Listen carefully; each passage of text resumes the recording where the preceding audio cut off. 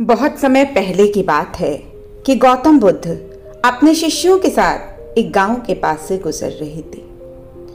पगडंडी के किनारे लगा हुआ एक पौधा देखकर उनके एक शिष्य ने पूछा कि क्या इस पौधे पे फूल लगेंगे या नहीं?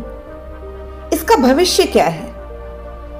पहले तो बुद्ध ने कुछ नहीं कहा, लेकिन बार बार पूछने पर उन्होंने अपनी आँखें बंद की।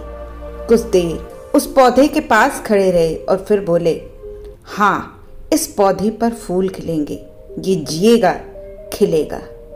इतना कहना ही था कि उस शिष्य ने उसी समय वो पौधा जड़ से उखाड़ दिया और परे फेंक दिया और बोला, अब बताइए, क्या इस पौधे पर फूल लगेंगे? क्या अब यह जी पाएगा? क्या यह खिलेगा? बुद्ध कुछ नहीं बोले, सिर्फ़ मुस्कुरा दिए, कहा, कुछ भी नहीं। और वो दोनों अपने रास्ते पर आगे बढ़ गए। शाम को उन्हें जिस गाँव पहुँचना था, वो वहाँ पहुँच गए।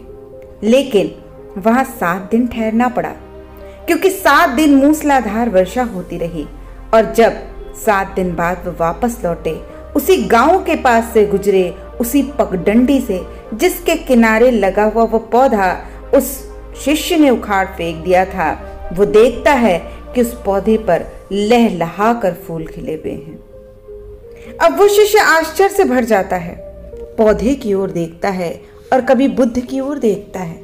हैरानी से भर जाता है कि आखिर इस पौधे पर, जिसे मैंने उखाड़ कर फेंक दिया था, फूल कैसे लगाए? तब उसने बुद्ध से कहा कि आपको कैसे पता चला? आपने इसका भाग्य कैसे देख लिया? तो बुद्ध ने कहा उस दिन इस पौधे के पास खड़े होकर मैंने अपने अंतर में ध्यान लगाकर इस पौधे की आत्मा को देखा था। ये देखा था कि इसकी आत्मा बलवान है। इसकी आत्मा हर परिस्थिति में, बुरे से बुरे समय में भी कार्य करने के लिए लालायित है। ज़िंदगी की आरज़ू से भरी हुई है। इसलिए मैंने कहा था कि ये पौधा जिएगा, खिलेगा। मूसलाधार वर्षा ने जड़ से उखड़े पौधे की जड़ें फिर मिट्टी में लपेट दी थी, जहाँ उस पौधे ने फिर से जड़ पकड़ ली थी। तब शिष्य ने कहा, आपने पौधे का भाग्य तो देख लिया, लेकिन मैं पास खड़ा था। आपने ये नहीं देखा कि अगले मिनट में से जड़ से उखाड़ दूँगा?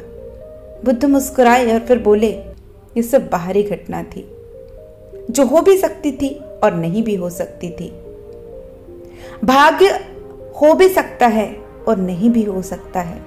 लेकिन यदि आत्मा मौजूद है और आत्मा मज़बूत है और उसमें परिश्रम की भावना है तो वो भाग्य की और परिस्थितियों से आने वाले संकट से भी लड़ना जान जाती है। मैंने ये भी देखा था कि पौधे की जो बलवान आत्मा है, उसके आगे आने वाले किसी भी घटना का कोई महत्व नहीं होगा। याद रखें दोस्तों कि इस दुनिया में बड़ा वही बनता है, जो केवल भाग्य से नहीं चमकता, जो संघर्ष से चमकता है। संसार का नियम है कि भाग्यवान वही है जो परिश्रम करना जानता है। भाग्य भी उसी को पहचानता है। अगर आपके बाजुओं में परिश्रम करने की शक्ति हो तो कोई भी कार्य असंभव नहीं है। परिश्रमियों के लिए तो रामायण में भी एक दृष्टांत है कि राम ने सुग्रीव जी से पूछा कि लंका कितनी दूर है?